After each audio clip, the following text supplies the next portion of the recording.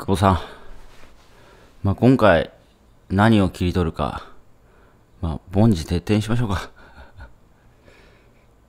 いや、僕は、あの、裏方だったんですけど、多分ね、熟成さんより聞いてたかもしれないですね。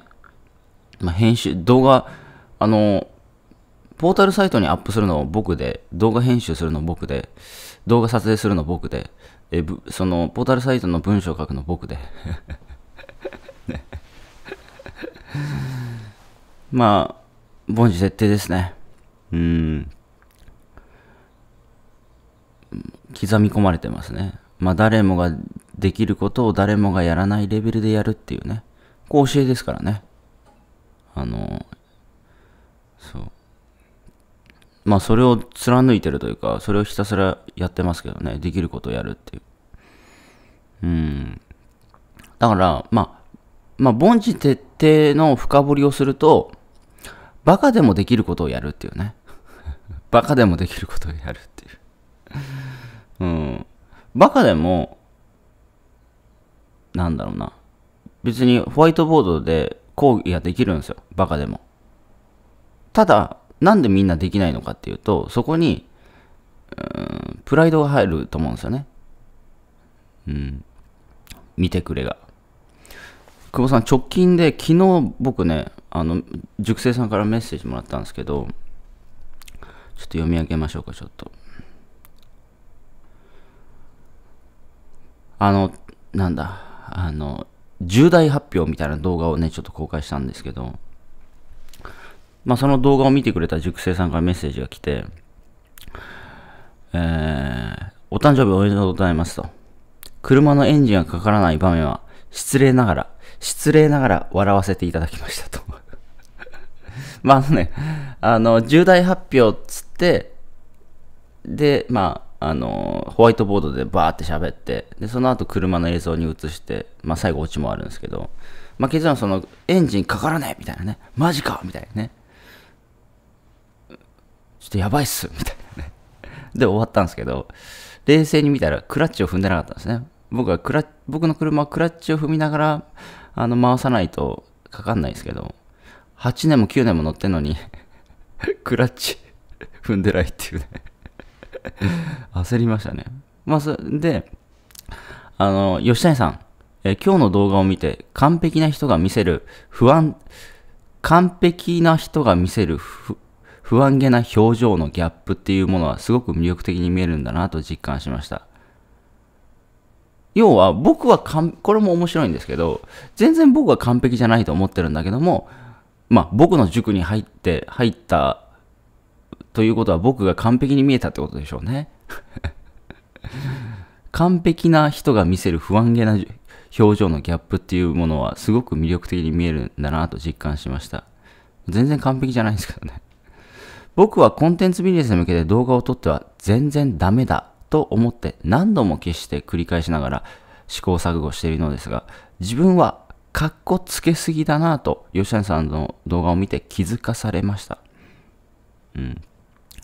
まあ、これ、まあ、あと続くんですけど、まあ、この方にね、もうメッセージは送りましたけど、あの、金にならないプライドは捨てればいいんじゃないかなっていう だって何のためにやってんのかって話じゃないですか。うん。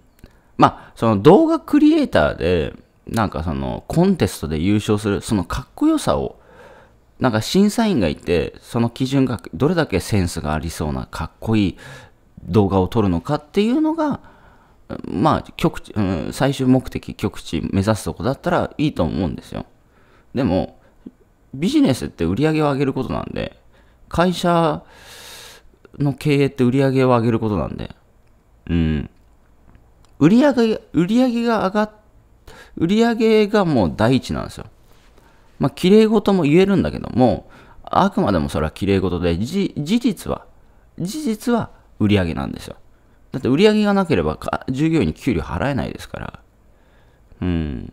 だからもちろんその、あの、人のため、世のためとかね、まあそういうビジョンだったり、志だったりとか、そういうのはあるんだけども、概念としてはね。あるんだけども、売り上げが立ってないと話にならないんで。うん。だってそうじゃないですか。ソフトバンクの孫正義さんもね、みかん箱でね、上に立ってね、豆腐を1兆、2兆、3兆、そんな会社にするんだって言いながら、売り上げ全然上がってなかった、ずっと上がってなかったら、ね、あの、金払えないですよ。あの、働いてる人に。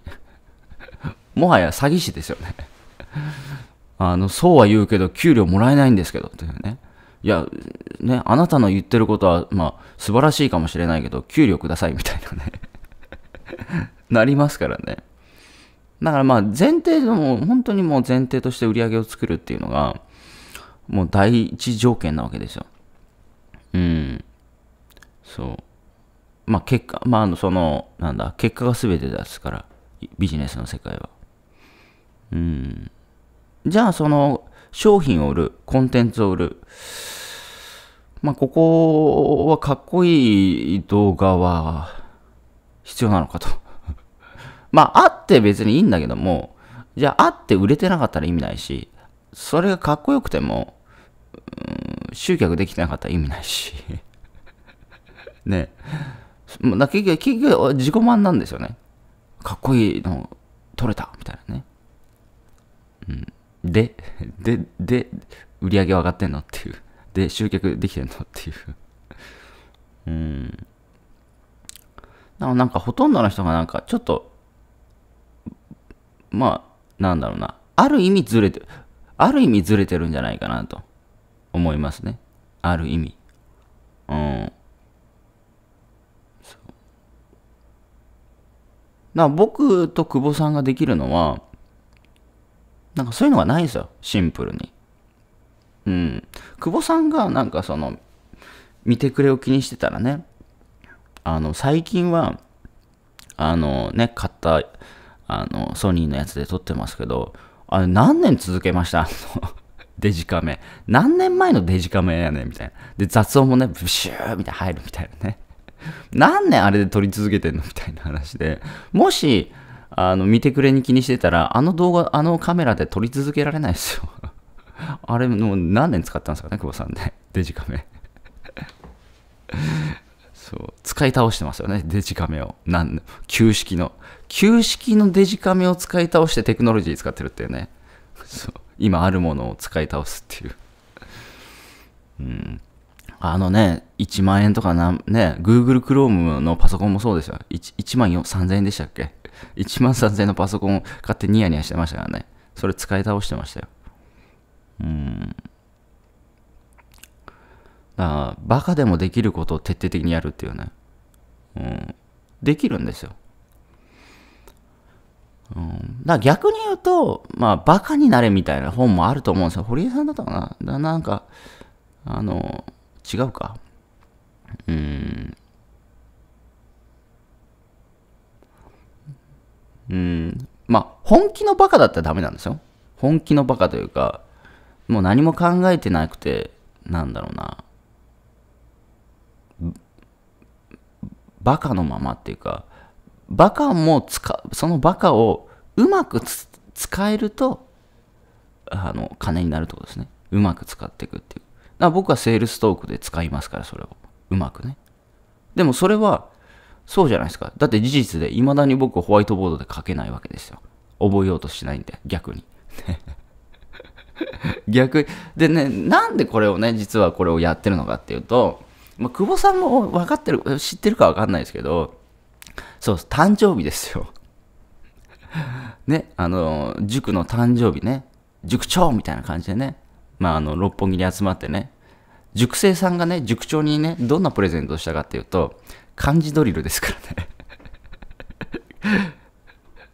漢字ドリルプレゼントしてましたからね。まあ僕はもうあれを見てましたから。うん。そう。漢字ドリルをプレゼントする塾生さんは、えー、稼いでないっていうね、まだ。これからみたいな。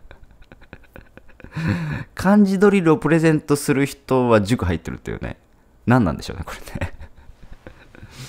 僕はもう、その、なんだ、なぜ、その、売れるのか？どこがポイントで、その塾が売れてるのかっていうのは、熟知してましたか？ら、そう、裏でやってましたからね。まあ、動画の、動画もずっと撮影してましたから。ちょっとお客さんからこんな感じで来てるんで、ちょっとこんな感じでお願いしますみたいな。僕はもはや指示してた部分もありますから。うーん。だどこ、どこに人は惹かれるのかっていうね。どこに人は惹かれてファンになるのかっていう。なそういうのを熟知してるから、それを使えるし、使うし。うん、だから逆に漢字は覚えないと。必要ないと。あえてそこを見せるっていうね。そう。字も汚いし、漢字も書けないし、ああえてそれを使うっていうね。そう。まあ、ある意味戦略家と言ってもいいかもしれないですね。うん。いや、でもですよ。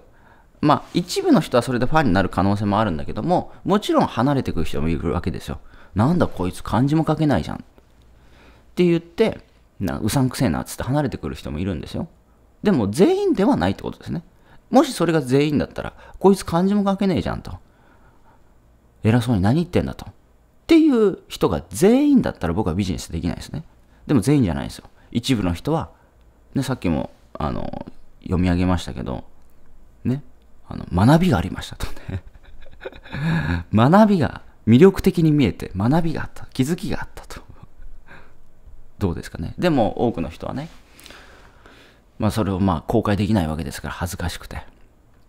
うん。恥ずかしいって何なんでしょうね。多分恥ずかしいっていうのは、まあちょっとね、きつい言葉かもしれないですけど、自分の人生を生き生きていないっていう人生が恥ずかしいと思った方がいいと思いますよ。本当の恥ずかしいって何なんですか？自分の人生を生きてないと。自分はこうしたいと思ってるのに、そうできていない。それ恥ずかしくないですか？自分はそう思ってるんですよ。そう生きたいと思ってるんですよ。だけどそれはできてない。それ恥ずかしくないですか？まああなたが恥ずかしくないと思うんだと別にいいんだけども、だからそれが人生の恥じゃないですか？うん。そう。もちろんできないこともありますよ。だけど、できようとしてますか？僕はできないことだらけでした。でも今はできるようになりました。それはなぜですか？やってきたからです。バカでも。それできないですよ。久保さんも最初ね、麻雀しかやってないんだから。何もできなかったですよ。だからできないから、一生懸命勉強してノートに書いたわけですよ。やったじゃないですか。ノートに書くだけじゃなく、あの、Facebook の、なんだ、ライブもね、4000回、Facebook 投稿も毎日、ね、動画も毎日、今 YouTube ライブか。やってますよ。未だに。人生の恥とは何なんでしょうね。恥ずかしいっていうのは。そう。今日も会社行くの嫌だな。俺こんな人生でいいのかなって思いながらその人生を送って死んでいく。恥ずかしくないですか本当にそう思うんだったら、チャレンジするべきだし、やってみることだし、そしてやった僕と久保さんが言うわけですよ。やれと。月収100万だったらいけるぞと。うん、別にね、月収1億の話してるわけじゃないです。月収ね、100億の話してるわけじゃないんです。月収100万いくと。もう声を大にして言いますよ。じゃあなんでそれをみんな行かないのかっていうと、使ってない、やってないですよ。使い倒してないですよ。うん。まあ僕は本当自信を持って言えるのが、まあいろんな人見てきましたけど、変えられるんで、変えてきてるんで、で、変えてきた人はやってるんで、単純に。すげえシンプルですよ。で、あの、到達しない人はやってないんですよ。で、なんか、できなかった、できなかったことはあだこだ言うんですよ。もしくは、やってない、やらないことをあだこだ言うっていうね。やってない、挑戦してないけどあだこだ言うっていう。いや、ほんとそうですから。いや、マジで。うん。それは時間はかかるかもしれないですよ。僕も、あの、まあ、この生活して5年ですけど、この5年、こんな自由な感じでやってますけど、10、10年以上かかりましたからね。10年以上。10年以上かかってますからね。もう10年以上、あの、会社に泊まってなんかね、やってましたからね。まあ多分本当に僕と同じことをやったら誰でもね、僕にいけると思いますよ。でも、ぼ、でも一つの事実を言いましょう。一つの事実を。